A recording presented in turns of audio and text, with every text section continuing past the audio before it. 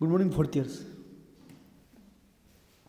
अपनी unit fifth sampling के अंदर इंट्रोडक्टरी पार्ट अपना कंप्लीट हो चुका था। आज हम जो शुरू करने जा रहे हैं वो अपने टाइप्स ऑफ़ सैम्पलिंग टेक्निक है।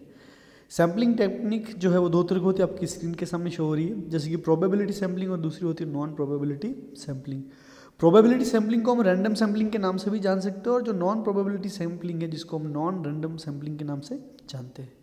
जैसे कि प्रोबेबल सैम्पलिंग की बात की जाए तो ये टोटल पाँच भागों में इसको डिवाइड किया गया है। पहला है सिंपल रैंडम सैम्पलिंग दूसरा है स्ट्रेटिफाइड रैंडम सैम्पलिंग तीसरा है क्लस्टर मल्टी स्टेज सैम्पलिंग चौथा है सिस्टमेटिक रैंडम सैम्पलिंग और पांचवा आखिरी जिसको हम कहते हैं sequential sampling stratified random sampling को फिर से दो भागों में बांटा गया जो कि प्रोपोर्शनेट सैम्पलिंग और दूसरा है डिसप्रोपोर्शनेट सैम्पलिंग के नाम से जाना जाता है। दूसरा जो होता है नॉन प्रोबेबल सैम्पलिंग या फिर नॉन रैंडम सैम्पलिंग जो होता है, जिसके अंदर चार टाइप्स है convenient sampling snowball sampling quota sampling और पर्पसिव सैम्पलिंग तो सबसे पहला टाइप जो है, वो प्रोबेबल सैम्पलिंग की बात करते हैं अपन। प्रोबेबिलिटी सैम्पलिंग और रैंडम सैम्पलिंग की बात की जाए तो सबसे पहले हम शुरू करना चाहते हैं कि प्रोबेबिलिटी सैम्पलिंग के अंदर अगर बात करें तो इसको हम रैंडम सैम्पलिंग के नाम से भी जानते हैं। चांस सैम्पलिंग के नाम से भी जानते हैं, क्योंकि इसके अंदर जितने भी आइटम है पॉपुलेशन के अंदर, सबको समान मौका मिलता है सेलेक्ट होने के लिए। इसलिए इसके अंदर कहा गया है कि in this design every item has an equal chance to inclusions in the sample तो इसके अंदर अपन बात करते हैं तो सबसे पहला जो टाइप आता है, वो है सिंपल प्रोबेबल प्रोबेबिलिटी सैम्पलिंग के अंदर आता है।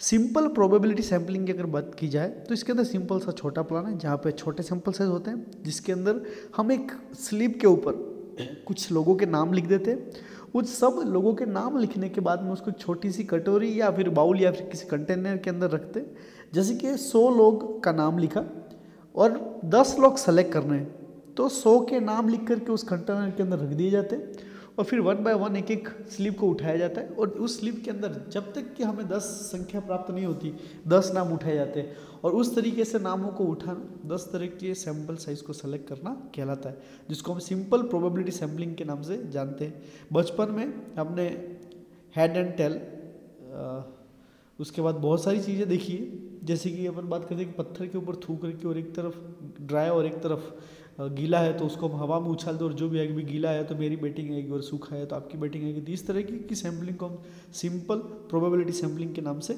जानते हैं। एग्ज़ाम्पल बात कर सकते हैं इसके अंदर हम जैसे कि लॉटरी मेथड है use of table random number है कंप्यूटर है फ्लिपिंग ऑफ़ कोइन सिक्का उछालना ऐसे बहुत सारे मेथड हैं जिसकी मदद से हम सिंपल प्रोबेबिलिटी सैम्पलिंग कर सकते हैं। Advantages of simple probability sampling क्या है? तो ये कम समय लेती है कम नॉलेज चाहिए और फटाफट हो सकता है। इसमें कोई एरर नहीं होता है। ईजीली एनालिसिस होता है। Decrease the size of sample की कम से कम सैंपल हम सेलेक्ट कर सकते हैं। डिसएडवांटेजेस ये है कि ये पॉपुलेशन की लिस्ट होना ज़रूरी है टाइम कंज्यूमिंग है एक्सपेंसिव है। और इसमें मेथड के अंदर मैक्सिमम नॉलेज ऑफ़ पॉपुलेशन में पता नहीं चलता कि जो अपने चिट्ठी में सेलेक्ट हो गया है पर्ची के अंदर सेलेक्ट हो गया, हो सकता है उसके अंदर उतना नॉलेज हो या नहीं हो। दूसरा जो टाइप है, वो स्ट्रेटिफाइड रैंडम सैम्पलिंग टेक्निक के नाम से जाना जाता है। If a population from which a sample is to be drawn does not constitute the homogeneous group stratified sampling technique is use क्योंकि एक जैसे लोग नहीं होते अगर किसी ग्रुप के अंदर तो उसके लिए हमें स्ट्रेटिफाइड रैंडम सैम्पलिंग का टेक्निक का करना ज़रूरी है। जैसे कि कोई क्रिकेट टीम को सेलेक्ट करना है पीएसपी से ही सेलेक्ट करना है तो पीएसपी से सेलेक्ट करने के लिए भी किसी भी ग्यारह बच्चों के नाम लिखने तो कोई भी अपने अपने नाम दे दे। उन नाम लिखने के बाद में पर्ची बनाते, पर्ची बनाने के बाद में स्लिप को एक एक करके उठाते टोटल हम ग्यारह नाम कलेक्ट कर सकते हैं। पर अगर एक ही बैच के बच्चे हो तो सिंपल सैम्पलिंग काम में आती है। पर पीएसपी में फ़र्स्ट ईयर में से कितने जाएँगे सेकंड ईयर में से कितने जाने जाएँगे थर्ड ईयर में से कितने जाएँगे फोर्थ ईयर में से कितने जाएँगे, ऐसे करके अगर कोई टीम सेलेक्ट करनी है तो अपने को स्ट्रेटिफाइड रैंडम सैम्पलिंग का यूज़ किया जाना चाहिए। जैसे कि फ़र्स्ट ईयर के अंदर कौन कौन से अच्छे प्लेयर है? सेकंड ईयर के अंदर कौन कौन से अच्छे प्लेयर है? थर्ड ईयर के अंदर कौन कौन से अच्छे प्लेयर है? फोर्थ ईयर के अंदर कौन कौन से अच्छे प्लेयर है? कौन कौन से कीपर फ़र्स्ट ईयर में अच्छे सेकंड ईयर में अच्छे थर्ड ईयर में अच्छे फोर्थ ईयर में अच्छे? इस तरीके से हमें डिवाइड करना है। इसलिए इसके अंदर लिखा गया है कि drawn does not constitute the homogeneous group तो स्ट्रेटिफाइड सैम्पलिंग के अंदर हमें ग्रुप बना। Under stratified technique population is divided into the several sub population इसके अंदर जो जनसंख्या है, वो छोटे छोटे सब पॉपुलेशन के अंदर डिवाइड हो जाती है। एक जैसे लोग, एक जैसी टीम के अंदर सेलेक्ट हो जाते हैं। उसके बाद में एक एक को अलग करते हैं। उसके बाद उसके अंदर हम उसको सेलेक्ट करते हैं। सेलेक्ट करने के दो तरीके हो सकते हैं कि भाई हर चारों बैच में से तीन तीन तीन होंगे तो बारह खिलाड़ी होंगे। ये कहलाता प्रोपोर्शनेट अनुपात के रूप में किसी भी क्लास से सैंपल को सेलेक्ट करना।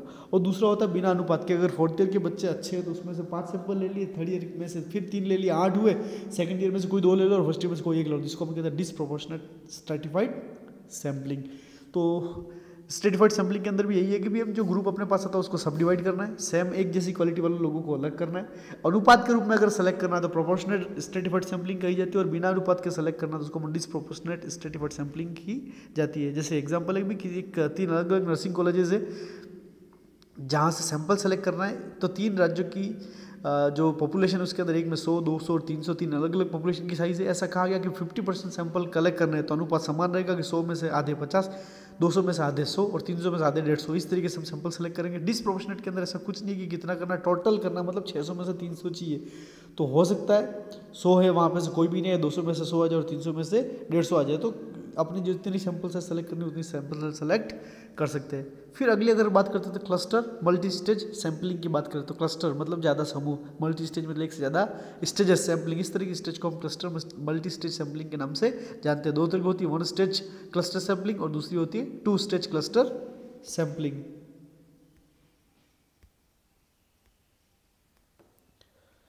cluster sampling की अगर बात करते हैं सिंपल से एग्ज़ाम्पल किन्हीं भी सौ अलग अलग नर्सिंग कॉलेज वाले प्रिंसिपल्स को कंटिन्यू एजुकेशन के लिए सेलेक्ट किया जाता है, पूरे इंडिया में से। तो उन सौ लोगों को सेलेक्ट करना है। तो क्लस्टर सैम्पलिंग के अंदर जो बंदा रहता है रिसर्च उसको सभी इंडिया के अंदर जितने भी राज्य हैं, वहाँ पर कितनी नर्सिंग कॉलेजेस है, कितने नर्सिंग प्रिंसिपल सबके बारे में नॉलेज होना ज़रूरी है। फिर वो क्या करते हैं, उसको सब कैटेगराइज करते हैं डिवाइड करते हैं क्लस्टर करते हैं क्योंकि टोटल बत्तीस राज्य हैं, बत्तीस राज्य, या इकतीस राज्य इकतीस राज्य में से किन्हीं भी पाँच राज्यों को सेलेक्ट करते हैं। किन्हीं भी पाँच राज्यों में से, किन्हीं भी पाँच राज्यों के अंदर जितनी भी नर्सिंग कॉलेजेस उनमें से किन्हीं जिलों को सेलेक्ट करते हैं। किन्हीं जिलों को सेलेक्ट करने के बाद में किन्हीं एक नर्सिंग कॉलेज को सेलेक्ट करते हैं। तो इस तरह की सैम्पलिंग को क्लस्टर मल्टी स्टेट सैम्पलिंग के नाम से जानते हैं। इसके एडवांटेजेस ये है कि इसके अंदर टाइम बचता है, समय पैसा बचता है अरेंजमेंट जो होता है, वो स्मॉल नंबर की सैम्पलिंग यूनिट से होता है। डिसएडवांटेजेस ये है कि लार्ज सैम्पलिंग एरर होने के चांसेस ज़्यादा रहते हैं। सही तरीके से स्टेटिक का यूज़ गणितीय आंकड़ों का यूज़ नहीं हुआ तो भी डाटा सही तरीके से सेलेक्ट नहीं होता है। सिस्टमेटिक सैम्पलिंग जो कि चौथा टाइप है, जिसके अंदर बताया गया कि भाई कितने सैंपल है। जैसे कि पचास या पाँच सौ लोगों की पॉपुलेशन है, उसमें से अपने को पचास सैंपल लेने हैं। तो कैसे करेंगे हम कि भी जो लिस्ट ऑफ़ टोटल पॉपुलेशन की भी टोटल 500 लोग। हैं पचास सैंपल सेलेक्ट करने तो 500 में 50 का भाग देंगे तो 10 आएगा। ये 10 जो है वो क्या है, जिसको हम सैम्पलिंग इंटरवल के नाम से जानते हैं। जैसे एग्ज़ाम्पल है कि सबसे पहले x मतलब एक संख्या है, मानो 10 एक है। एक प्लस के की वैल्यू थी 10 तो 11 हुआ।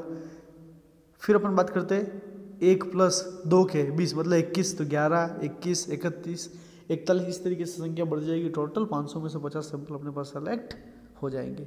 इजी है इकोनॉमिकल है टाइम सेविंग है रिज़ल्ट अच्छा रहता है। डिसएडवांटेज की बात करें तो कोई बाया होते हैं, वो पॉपुलेशन के रैंडम नहीं होते।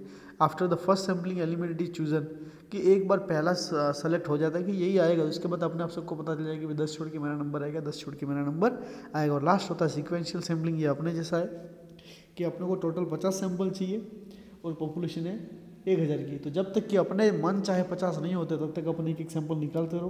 पहला निकाला, दूसरा निकाला, तीसरा काम का नहीं है। निकाल के भी अगर काम करें उस सैंपल को हटा करके चौथा फिर से निकालो, ऐसे करके हम टोटल पचास सैंपल सेलेक्ट कर सकते हैं। तो इस तरह की सैम्पलिंग टेक्निक को हम सिक्वेंशियल सैम्पलिंग टेक्निक के नाम से जानते हैं। उम्मीद करता हूँ सैम्पलिंग टेक्निक के अंदर सबसे पहली टेक्निक प्रोबेबिलिटी सैम्पलिंग टेक्निक या रैंडम सैम्पलिंग टेक्निक आपको इजीली समझ में आएगी।